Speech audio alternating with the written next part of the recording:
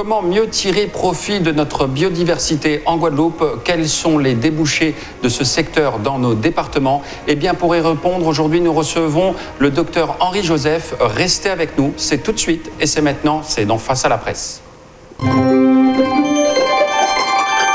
Euh, bonjour à tous, vous nous regardez sur OTV, vous nous écoutez en radio sur EFM Radio, RTL. Euh, comme chaque semaine, notre confrère journaliste et consultant Thierry Fundéré est avec nous. Bonjour Thierry. Bonjour Jean-Yves, bonjour à tous. Euh, comme je le disais il y a un instant, nous recevons aujourd'hui le docteur Henri Joseph. bonjour docteur. Oui, bonjour. Quoi de neuf docteur? Eh ben, tout va bien. Alors, on commence tout de suite cette émission. Phytobocase a 15 ans. Euh, cette année. Euh, que de chemin parcouru, vous y avez cru, euh, et la suite vous a donné raison. Tout à fait. J'avais une pharmacie à Basser, 2,3 millions d'euros de chiffre d'affaires. Et quand j'ai vendu la pharmacie, on m'a dit que j'étais fou, parce que j'avais aucun avenir dans les plantes.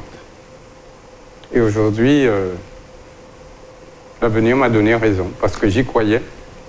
Et heureusement que j'y croyais parce que mon associé est malheureusement décédé depuis, le professeur Paul Bourgeois. Cette année Paix à son âme, l'année dernière. L'année un an, mhm. novembre 2018. Et donc, euh, il s'est associé à son élève et nous avons partagé euh, un bon parcours et nous avons mis au monde un, bébé qui est aujourd'hui un adolescent de 15 ans. Euh, quel est votre effectif salarié aujourd'hui? Aujourd'hui, on est 8. Son associé, ça fait 9. Donc euh, voilà, donc euh, euh, nous sommes tous déterminés. Alors aujourd'hui, c'est combien de marques, combien de produits pharmaceutiques et cosmétiques que vous avez aujourd'hui déposés en brevet? Vous avez des brevets? Oui, on a quatre brevets. Mhm. Des marques, on en a plein, plein de marques.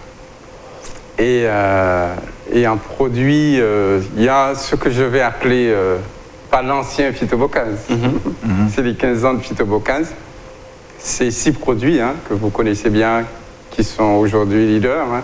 Virapic, euh, Banuline, l'huile de Galba, Bioven, Wimago. Donc ce sont des, produits que, les gens découvrent au fur et à mesure. En fait, les gens connaissaient que Virapic. Mhm. Après, ils nous disent, ah bon, l'huile de Galva, c'est super, mais Banuline, c'est super.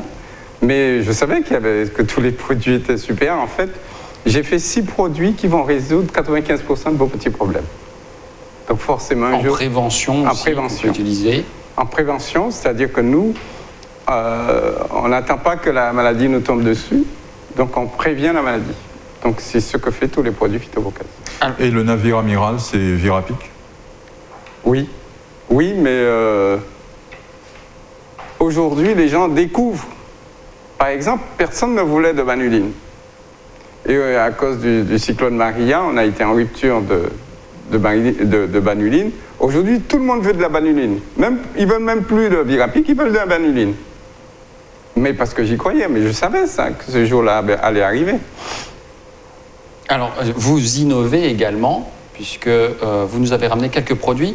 Euh, est-ce que vous pouvez nous en parler? C'est notamment au niveau des couleurs. Voilà, ça c'est le nouveau phytobocase. Hum. C'est de l'innovation. Ah oui, c'est de l'innovation. C'est-à-dire que euh, chaque fois que vous achetez un produit phytobocase, en fait 40% de ce que vous donnez à phytobocase est mis en recherche. Notre entreprise bénéficie aussi de crédit impôt recherche. Mais ce n'est pas suffisant. Donc, euh, c'est pour ça qu'on investit, on investit, on investit, on investit. Et donc, nous avons plusieurs secteurs sur lesquels on a beaucoup, beaucoup investi en matière de recherche.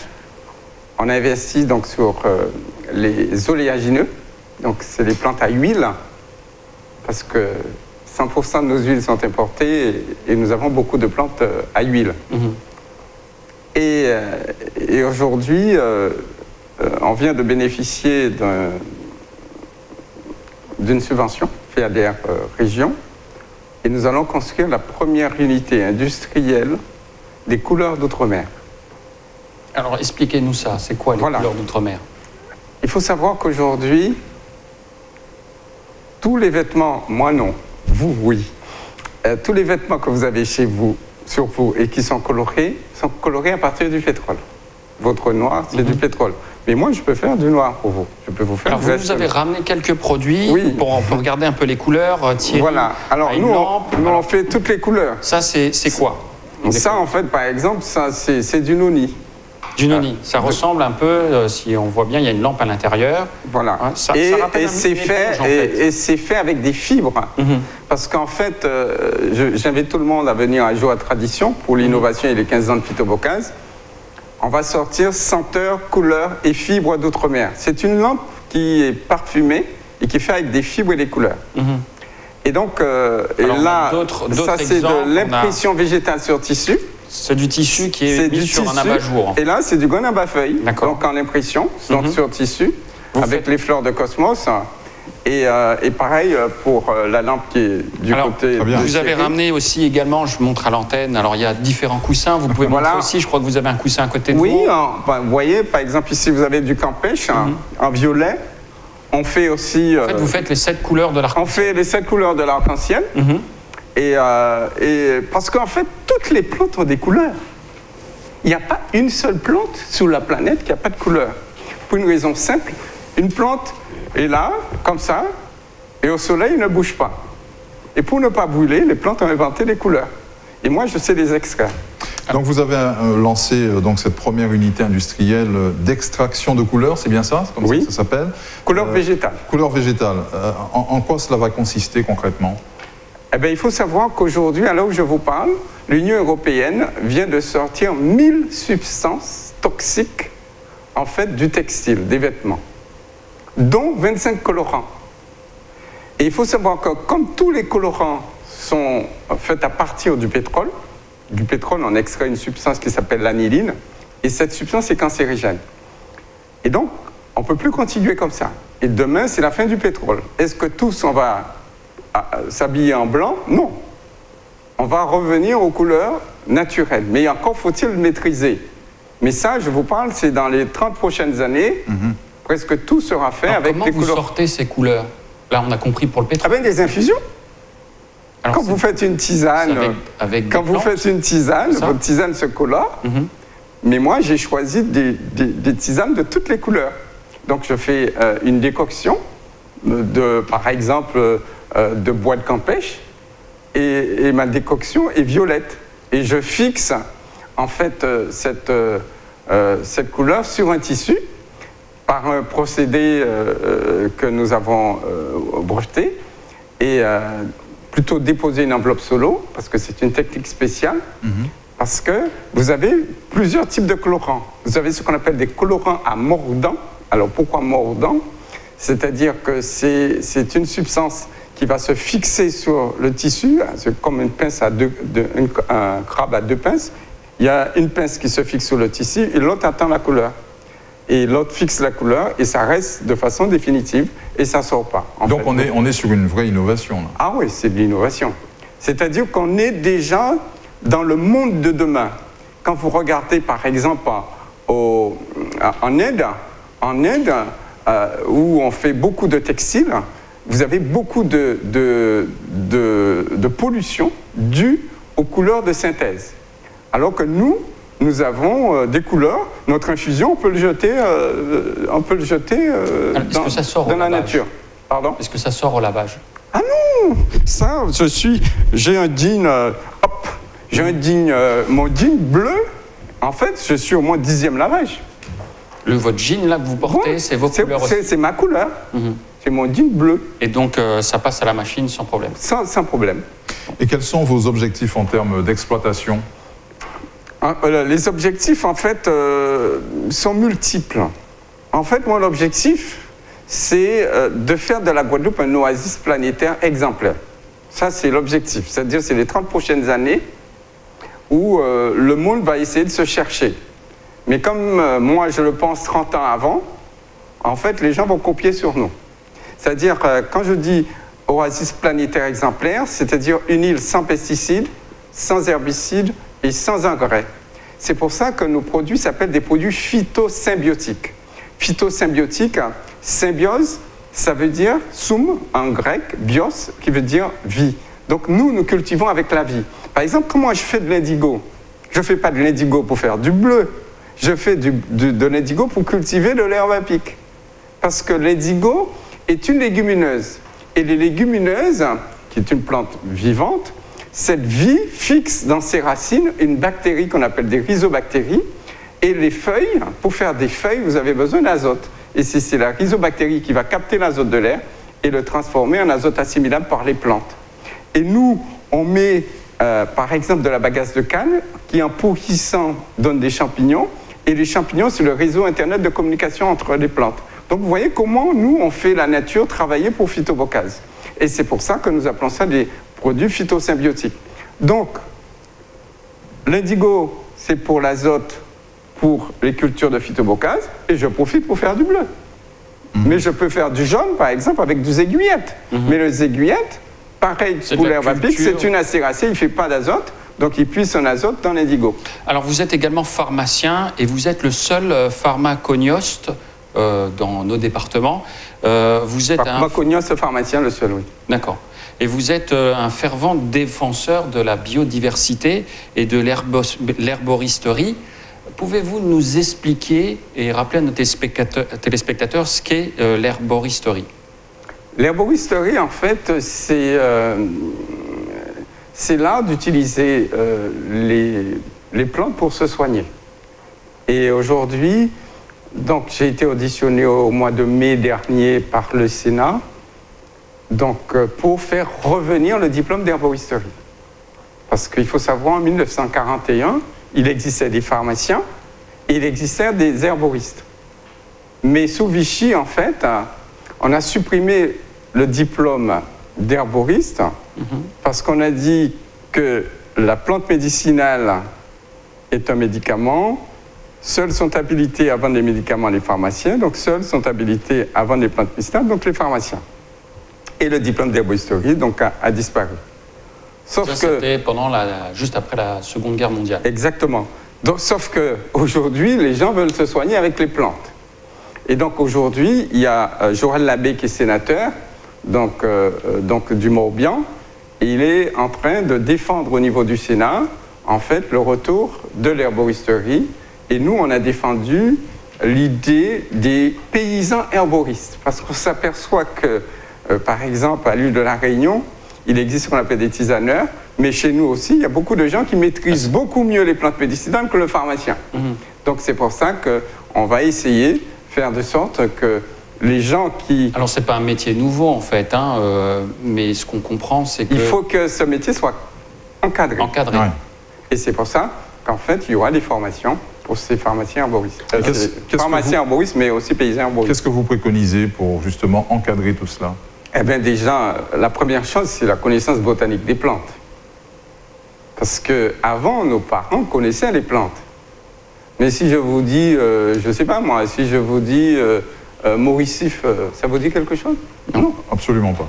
Voilà, pampin, coué Eh bien voilà, vous ne connaissez pas les plantes. Donc il faut qu'il y ait des écoles d'herboristerie, en fait, pour former les gens à la connaissance botanique des plantes. Maintenant que vous savez reconnaître la plante, maintenant on va vous donner ses propriétés. Et comme euh, euh, nous avons travaillé donc avec un réseau caribéen euh, de chercheurs dans la Caraïbe, euh, Tramil, le réseau. Tramil, Mhm. et donc aujourd'hui, Tramil a étudié les plantes et a classé les plantes en trois catégories. Catégorie tox, ce sont les plantes qui sont toxiques, qu'on a pu déjà identifier. Ensuite, catégorie INV, c'est-à-dire des recherches complémentaires sont nécessaires avant l'autorisation de l'utilisation. Et la catégorie REC, recommandée, ce sont des plantes dont on maîtrise tout. Donc c'est ainsi on pourra euh, maîtriser en fait tout l'encadrement d'utilisage des- de l'usage des plantes. L'herboristerie, c'est un, un vieux métier en fait, euh, ici aux Antilles. Euh, alors il y avait une interdiction, je crois, en, en 1799. C'est un décret qui disait qu'on ne pouvait pas faire de la médecine. Un homme noir ne pouvait pas faire de la médecine. Oui. Euh, mais il y a quand même eu cette, cette transmission de savoir euh, jusqu'à maintenant, hein, 300 ans après. Est-ce que c'est pas un savoir qui se perd? En fait, qu'est-ce qui s'est passé? C'est-à-dire qu'il y a une première abolition de l'esclavage en 1794. Ensuite, les combats faisaient rage en Haïti. Et il y avait un monsieur qui s'appelait Macandal. Et Macandal, d'où le terme de macandalisme, Macandal empoisonnait les colons avec les plantes. en Haïti. Et les colons de Guadeloupe, Martinique, Guyane, ils ont eu peur. Et ils ont pondu, le Conseil souverain de l'époque a pondu un arrêté qui disait il est interdit aux gens de couleur, noirs ou esclaves, d'exercer la médecine, la chirurgie, d'utiliser aucun remède sous quelle forme que ce soit, sous peine de 500 francs d'amende pour les gens qui sont libres, punition corporelle pour les esclaves, et les colons qui tolèrent ce type de pratique seront déchus lors des esclaves. C'est marqué noir sur blanc. Et donc il a fallu, ensuite il y a eu le rétablissement de l'esclavage en 1802, mhm. et après les choses sont restées en état. Et c'est pourquoi nous on s'est battus, en fait, 12 euh, ans de bataille juridico-politique et économique pour euh, le renouveau des plantes médicinales en fait en Outre-mer et singulièrement en Guadeloupe. Donc il y a très peu de plantes qui sont inscrites, euh, je, pense, sur, sur les listes en fait, c'est un combat d'à peu près une douzaine d'années. On a commencé par deux, il n'y avait rien. Hein. Quand on a commencé, on a commencé par deux, qui est le datier et, le trois tasses. Et à partir des deux, avec nos parlementaires, on a pu obtenir, par le biais de la l'ODEUM, une modification du Code de la santé publique. Euh, et, le SIOM, le Conseil interministériel de l'Outre-mer, a voté un budget en fait pour faire entrer 15 plantes par département. Et aujourd'hui, nous sommes à peu près à 87 plantes contre 2 en 2001. Beau parcours. Vous êtes euh, récemment intervenu en, qualité de grand témoin auprès de, la région pour envisager, imaginer euh, la Guadeloupe de demain. Quelles ont été vos propositions? En fait, ce que j'ai proposé, c'est un objectif. L'objectif, faire de la Guadeloupe un oasis planétaire exemplaire. Parce que quand moi j'écoute euh, les, les informations, on dirait qu'il faut quitter ce pays. C'est un pays où rien n'est bon, rien ne va, alors que ce n'est pas, mon, idée. Pour moi, je suis dans le plus beau pays de la planète. Je répète, je suis dans le plus beau pays de la planète. Il y a la mer, il y a le soleil, il y a de la terre, il y a l'eau. Sauf que, effectivement, il y a eu une problématique liée à, l'empoisonnement de nos terres, de nos eaux, par un pesticide qui est le chlordécone. On aurait pu, l'éviter. C'est pas le seul. Mais il y, en a d'autres. Parce que pendant que vous vous préoccupez du chlordécone qui est derrière nous, vous allez me dire devant nous aussi, parce qu'on en a pour 574 ans, on ne se préoccupe pas du glyphosate, qui est un herbicide qui est utilisé par, par la canne, les meloniers, les, bananiers. En fait, tout le monde utilise, mais personne ne dit rien. Et dans, dans trois ans, quand on va finir avec le glyphosate, on va essayer de chercher les coupables. Mais les coupables, c'est nous. Moi, c'est pour ça que je dis qu'il faut qu'on sorte de ce qu'on appelle une économie dite extractive et qui nous tue. extraire le pétrole, extraire l'uranium, extraire le phosphore. Il faut sortir de cette économie extractive parce qu'on n'a pas de minerais, on n'a pas d'or, on n'a pas d'uranium. Par contre, on a ce qu'on appelle des ressources vivantes, des ressources végétales au niveau de la mer et au niveau de la terre.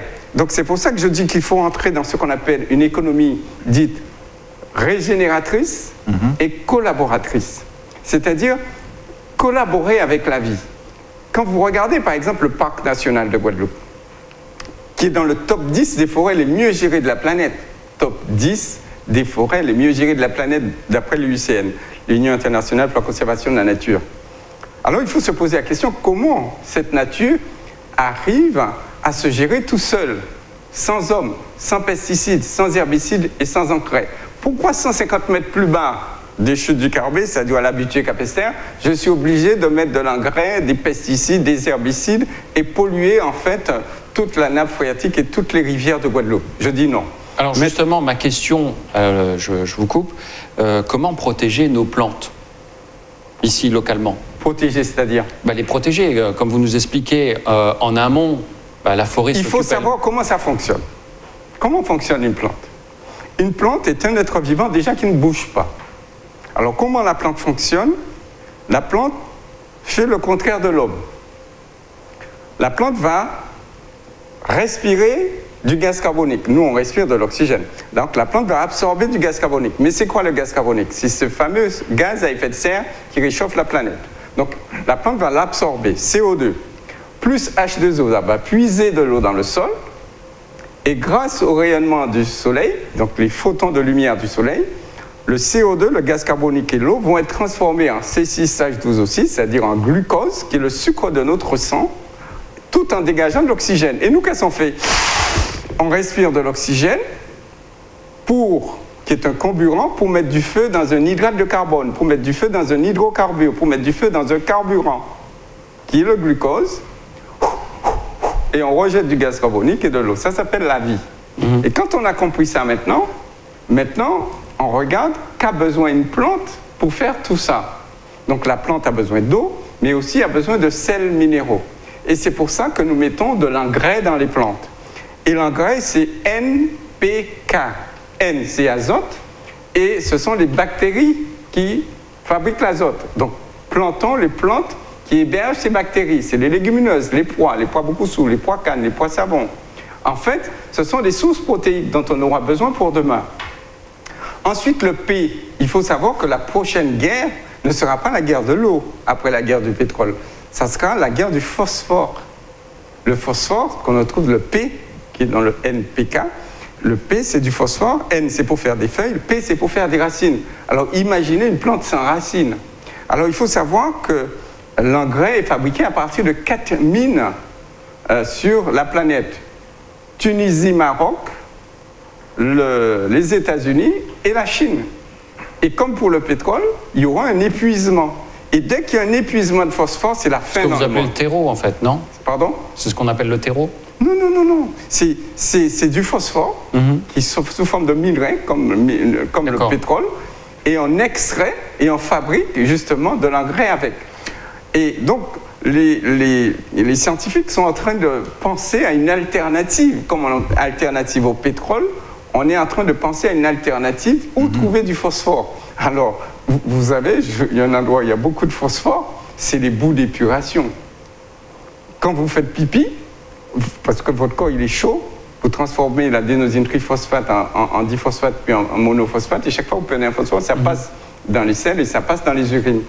Et donc, l'idée, c'est de récupérer en fait tous vos urines et en fait de, de les incinérer et faire de la cendre et de pouvoir avoir des, des sources de phosphore pour demain. Thierry Fondéré. Donc c'est une mutation profonde à C'est une laquelle, mutation à laquelle profonde. vous nous invitez. Mais on doit se préparer. On doit se préparer. Il ne faut pas attendre qu'on ait faim. Ouais. Il faut préparer. Moi, je dis que euh, euh, euh, de- demain, la Guadeloupe risque d'avoir faim. Parce que les champs de blé qui nous nourrissent aujourd'hui sont en train d'être boulés avec la canicule en France. Les champs de blé qui sont en train de nous nourrir aujourd'hui sont en train d'être inondés. On a vu donc dans le sud de la France. Et donc, il faut faire ce que nos grands-parents faisaient. Que faisaient nos grands-parents? Nos grands-parents, en fait, plantaient des pois, les pois beaucoup sous, les pois cannes, Ah, les pois savons. justement, comment les revaloriser ces pois? Eh bien, il suffit tout simplement de les planter. On ne travaille pas assez dans ce pays. On attend que la France nous mette la cuillère à la bouche et après on critique. Non, il faut se mettre dans les champs. Moi, je, je trouve anormal, je n'ai rien contre le carnaval. J'aime bien aussi le carnaval. On va trouver 5000 personnes dans Masse Matin. Je veux voir 5000 personnes dans les champs. Au lieu de bouffer des choses que les gens nous envoient, on va bouffer les choses qu'on produit. Mais les gens n'ont pas envie. Ils n'ont pas envie, mais ils vont mourir. Il faut faire des choix. Qu'est-ce qu'on veut? Est-ce que, si on ne vous envoie pas à manger, qu'est-ce que vous allez faire? C'est vrai que quand, il y a, 80%... quand il y a eu le LKP, ils ont trouvé, man- ils ont Hmm. manière, euh, foutez les autres au travail, excusez-moi l'expression. mais c'est vrai. C'est vrai que il faut qu'on se- 80% de, de la nourriture vient de par Voilà. bateau, 100% des médicaments pratiquement Voilà. viennent Mais aussi. le problème, c'est qu'on est dans un monde incertain. Imaginez qu'il y a un conflit avec ce qu'on voit en Syrie, en Irak, en Iran.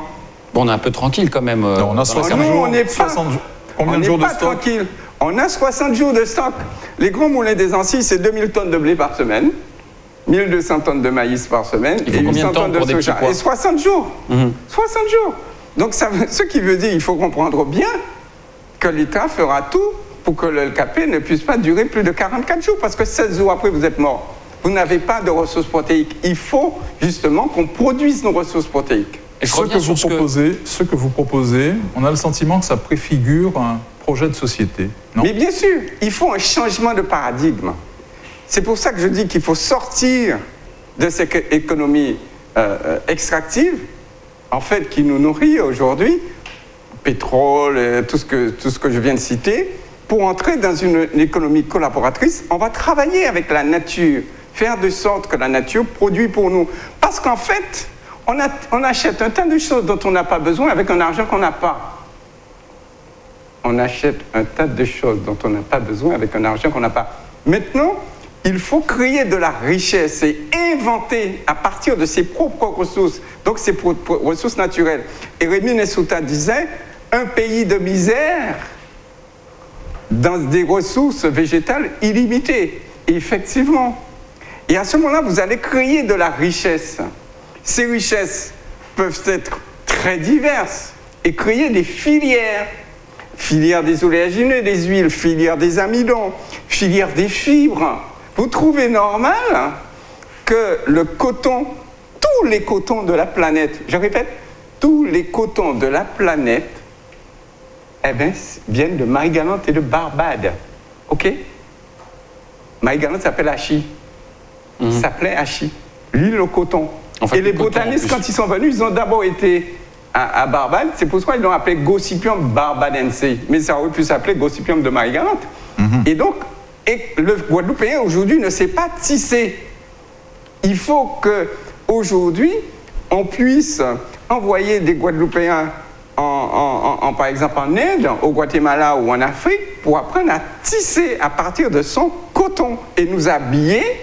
Et moi ensuite je vais vous apprendre à les colorer. Mais comme ça, on peut parler de produits, de, de- de pays qui s'autosuffisent et qui créent de la richesse à partir de sa biodiversité. Pensez-vous justement que le gouvernement fait tout pour que la Guadeloupe euh, ne puisse pas se développer ces débouchés-là? Est-ce que vous C'est pas... pas... le gouvernement qui doit décider, c'est nous à décider. Vous voyez, c'est un gouvernement qui va me dire de faire ce que fait Fito Bocaz. Il faut arrêter. Que ni les politiques, c'est nous. Nous trop feignants, nous pas qu'à travailler assez. C'est vrai qu'il y en a beaucoup qui travaillent. Mais nous, on ne crée pas de la richesse. Vous savez, moi, mon indigo, là, j'ai déjà des prospections. Quand les Japonais ils vont m'acheter mon indigo, je vais créer de la richesse et les, les Japonais, hein, je fais faire de l'exportation. En fait, je vais augmenter ce qu'on appelle le produit intérieur brut de chez moi, minimalement par les couleurs, mais ça peut être les autres richesses. Et quand votre produit intérieur brut augmente, on fait ce qu'on appelle de la croissance. Ce que la France recherche. La France recherche des points de croissance, alors que l'outre-mer peut lui permettre de faire ces points de croissance en exportant des produits naturels et nouveaux au moment où on est dans une transition écologique et énergétique. Alors, je, je vous dis ça juste parce que vous avez parlé il y a un instant euh, du réseau caribéen, le, le Tramil. Il n'est pas reconnu. Il n'est pas reconnu. Et Qui a dit ça? Moi, il n'est pas reconnu. Euh, Il est reconnu par, par la France maintenant. Il a fallu se battre pendant 12 ans. Il n'était pas reconnu. Maintenant, il est Mais reconnu. pourquoi ça a pris autant de temps? Eh bien, C'est que récemment, parce c'est que pratiquement- nous, on attend, on attend, on attend. Non J'ai pris mon bâton de pèlerin, j'ai fait toute la Caraïbe, on a créé un réseau caribéen avec 200 chercheurs, 30 pays. Ensuite, quand il y a eu la rétrocession du canal de Panama au Panaméen, ch- euh, donc euh, chaque ministère au Panama, en fait, a pris un challenge. Et le challenge, c'était Salut pour Santé pour tous, après l'an 2000.